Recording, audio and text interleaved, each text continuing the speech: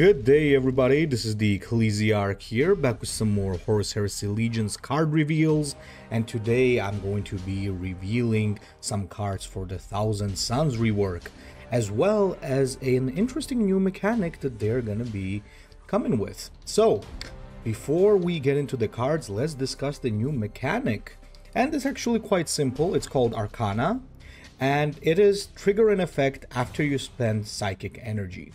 So basically, uh, this means either when you use a psychic power, for example, or when you use an active ability that costs psyker. So if you guys remember, Thousand Sons Warlords come with abilities that use psychic um, power instead of energy a lot of times, right? For example, Magnus had his um, damage ability, Sanakht had his buff, Ahriman with his precognition. So this means that whenever you play a unit with Arcana, you have a chance to instantly trigger whatever effect it has. And you can even do it multiple times if you then maybe use uh, psychic powers on top of that and maybe some of your other troops also have active abilities that use Psyker, right? So overall, a very, very strong ability already, already miles better than the Space Wolves. Now, let's take a look at the cards, and as per tradition, let's start from the common one. And number one is going to be the Myrach or Mirach Tactical Squad. It's going to be a 2 energy 2-3, already alrightish instead of in, in terms of stats. And Arcana, deal 1 damage to a random enemy. So this is already quite alright, to be honest. Okay stats. 3 HP means that a lot of Warlords might not be able to take it out instantly. And you can basically get instant value right off the bat if you're ready to use your psychic power with your warlord. So overall, a pretty neat little unit for sure.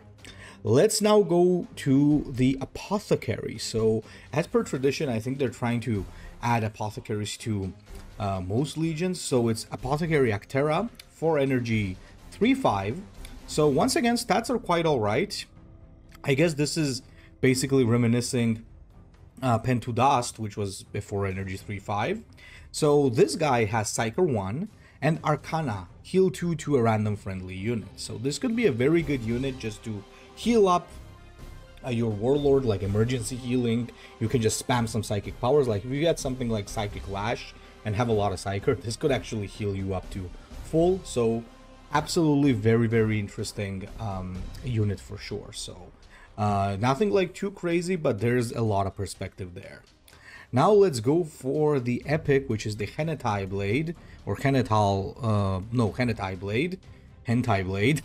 so basically this is a 3 energy, uh, 3-4, and it has Psyker 1 and Arcana, your Warlord gains plus 1 until your next turn. So basically this is similar to uh, something that Sanakht had, except it doesn't have like reflection or anything. So unless you're spamming your warlord power, you're gonna not gonna be able to pull a Sanakht only using the Henetai blade. So uh, pretty interesting unit though. It will definitely help you trade.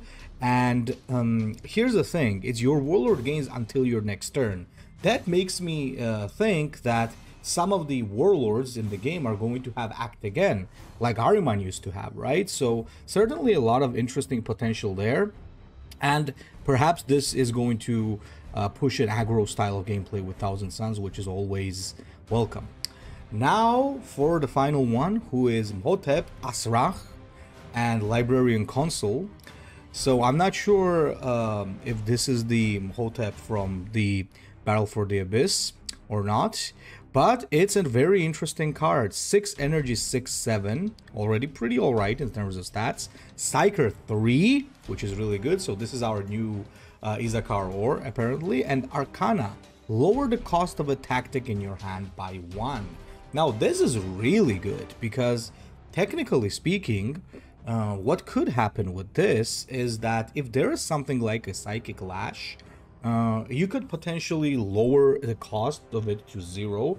Well, uh, I, I, believe psychic powers also count as tactics, unless something changes there. So you could make, let's say, a, I don't know, something like a psychic lash cost zero, and then basically potentially infinitely spam it, perhaps. So it really is going to depend on whether or not whether or not there is going to be uh, tactics like that, whether or not it's attended, either way, it's going to be quite hard to pull off. But Thousand Sons have always had those Infinity type of shenanigans.